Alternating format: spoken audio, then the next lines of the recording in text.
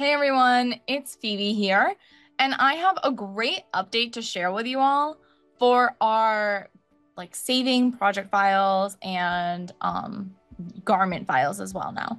So let's dive on in and have some fun while we learn.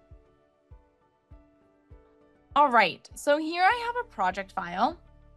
And in our last release, we did this really great update where now how you have like your toggle menu and your display settings can be saved within that zfab file. I mean, that z um z project file. We've also now done it for garments as well. So if I go to change these around, so I'm gonna go to like quality render and I like all of this. And then I'm going to hide my avatar, even though this is a garment, so it doesn't really matter. And now I'm going to go to File, Save as Garment.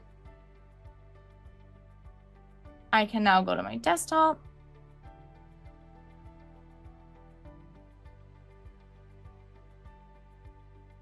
And I'm just going to go to a new project. And here I'll go to File, Open, Garment. Open this up. And it will automatically load with all of my garment settings and all of that right here. Really, really useful and helpful. Also, just like as a good thing to know, which I feel like is very helpful, I'm just going to go to File, New Project. And in this project, what I'm going to do is I'm going to just, just to show you what you can do, this is like a nice little fun fact.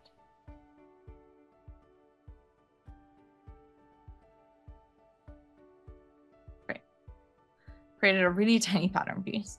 I'm just gonna put this right here and rotate it and put it on the ground. Okay. So what I've done is now what I'm gonna do is I'm gonna set up how I want like my default to always be. Maybe I don't want to show baselines or 3D pen. I always want quality render. And also, oh my gosh, this is actually pretty cool. I could do avatar.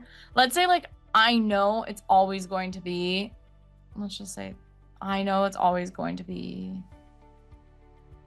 pencil add to workspace. I want it the whole company. I always want it to be this and I'll have her. And let's even say I want, mm, no, back to size. Let's say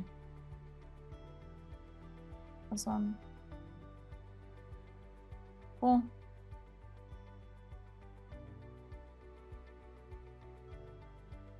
Great.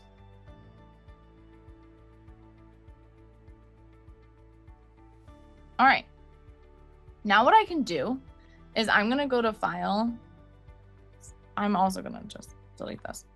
I'm going to go to file save as project.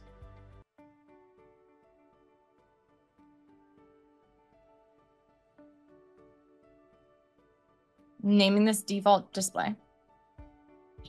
Now what I'm going to do is I'm going to go to settings, user settings, default files, project, project file. I'm going to open this up. default display, open. Okay. And now I've selected what file will always open up every time I open up a new Clo. So I'm going to hit close. I'm going to exit out of Clo.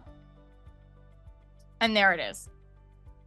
So you can set this up so like every time you open up Clo, you see like a certain avatar, you see certain toggle menus and all of that.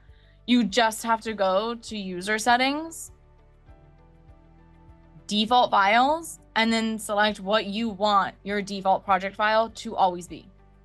And it's right here. And then you can decide that.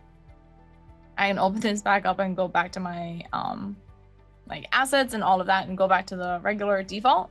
But you can honestly set it all up just like this so that you always have a certain avatar, you always have a certain view, and all of that all set up for every time you open up a new file. And then again, now I can go to file, open garment, and that garment with that display setting that I have will override because I'll have this box checked on display settings. And I'm going to hit OK. And now that project file, that garment files display settings is going to be viewed. All set. So yeah, really cool, really helpful. Thank you so much for watching. If you have any questions, use that comment section down below. Don't forget to like and subscribe. There's so many great videos for you to use and like improve to help improve your Clo journey. Keep having fun in Clo and thanks so much.